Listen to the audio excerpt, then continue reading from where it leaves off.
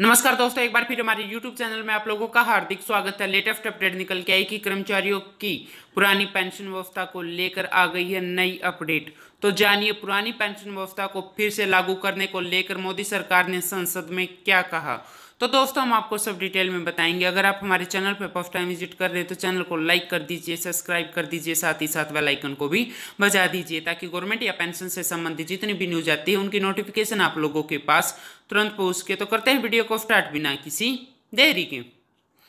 दोस्तों, पुरानी pension scheme को फिर से बहाल करने पर केंद्र सरकार का कोई इरादा नहीं है। संसद में प्रश्न काल में पूछे गए सवाल के जवाब में सरकार ने यह जवाब दिया कि केंद्रीय वित्त राज्य मंत्री भागवत कराड़ ने कहा है कि पुरानी पेंशन योजना को फिर से बहाल करने का कोई भी प्रस्ताव सरकार के विचाराधीन नहीं है।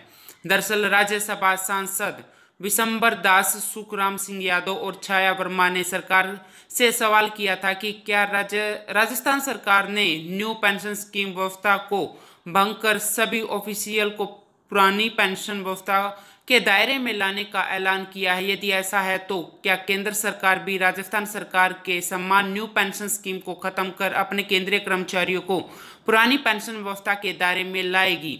तो इस प्रश्न का जवाब देते हुए वित्त राज्य मंत्री ने कहा है कि राजस्थान सरकार ने 23 फरवरी 2022 को अपने बजट भाषण में 1 अप्रैल 2004 से या उसके बाद नियुक्त किए गए सभी सरकारी कर्मचारियों को पुरानी पेंशन योजना के तहत लाने का ऐलान किया है। लेकिन केंद्र सरकार के पास पुरानी पेंशन योजना को बहाल करने का कोई भी प्रस्ताव नहीं है। दरअसल राजस्थान और छत्तीसगढ़ की कांग्रेस सरकारों ने राजस्थान के सरकारी कर्मचारियों की पुरानी पेंशन को ही फिर से लागू करने के आदेश दिए हैं। हालाँकि कर्मचारियों की ओर से केंद्र और भाजपा शासित राज्यों पर दबाव बढ़ गया है। राजस्थान की अशोक गहलोत सरकार ने राज्य में फिर से पुरानी पेंशन योजना को बहाल करने का ऐलान किया है। इसके बाद देश के बाकी राज्यों में भी यह मुद्दा बना जा रहा है। बाकी राज्यों में भी सरकारी कर्मचारी सरकार के सामने यह मांग ज़ोर शोर से उठा रहे हैं। उत्तर प्रदेश के हाल में ही हुए विधानसभा चुनाव में समाजवादी पार्टी ने अपने घोषणा पत्र में वादा किया है कि प्रदेश में सपा की सरकारी बनी तो पुरानी पेंशन योजना को फिर से बहाल कर दिया जाएगा। दरअसल देश के कई राज्यों में सरकारी कर्मचारी फिर से पुरानी पेंशन योजना को बहाल करने की लगातार सरकार से मांग कर रहे हैं। यहाँ तक कि सड़कों पर भी आंदोलन कर रहे हैं। हाल के दिनों में ही राजनीतिक गलियारों में भी पुरानी पेंशन योजना की चर्चा जोरों से है। लाखों कर्मचारी आस लगाए हुए हैं कि पुरानी पेंशन योजना फिर से बहाल की जाएगी।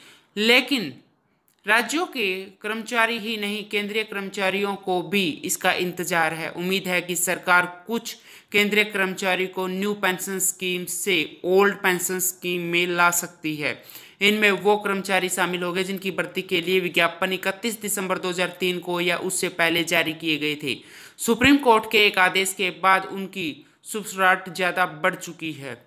तत्कालीन प्रधानमंत्री अटल बिहारी वाजपेयी की सरकार ने डिफेंस फोर्सेस को छोड़कर एक अप्रैल 2004 से पुरानी पेंशन स्कीम की, जगी हुई पेंशन योजना को लागू करने का ऐलान किया था। इस तारीख से या उसके बाद जो भी सरकारी नौकरी ज्वाइन करेगा, उन्हें अपने वेतन से न्यू पेंशन स्कीम में पेंशन के लिए योगदान देना ज़रूरी कर दिया गया है। दोस्तों, केंद्र सरकार ने कई पेंशन योजना लागू की, लेकिन इसे राज्यों के लिए अनिवार्य नहीं किया गया था। बाद में धीरे धीरे अधिकतर राज्यों ने इसे अपना लिया, लेकिन थोड़े समय के बाद नई पेंशन योजना का विरोध शुरू कर दिया गया था।